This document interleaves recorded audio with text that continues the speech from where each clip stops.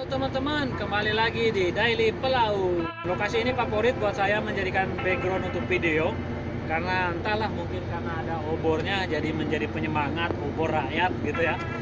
Ah teman-teman, saya tergelitik dengan komen teman-teman yang bilang wah enak sekali tuh belayar eh, apa cuma bikin video doang, tetapi gaji tetap lancar. Ya, jawabannya alhamdulillah kami di sini nggak terlalu ri- ribet eh, repot-repot amat gitu ngurus kapal ya.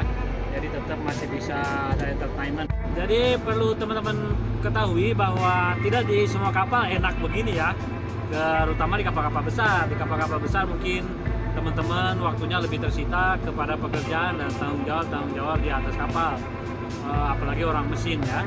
Jadi mungkin eh, waktu ketika berlayar sibuk dengan jaga ketika sandar sibuk untuk perbaikan atau maintenance engine dan sebagainya yang hanya bisa dilakukan pada saat eh, kapal berhenti atau engine stop gitu ya.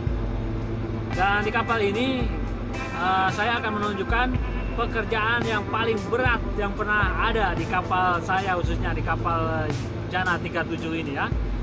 Sekali lagi, ini dia adalah pekerjaan yang paling berat yang saya dapatkan di kapal offshore. Check it!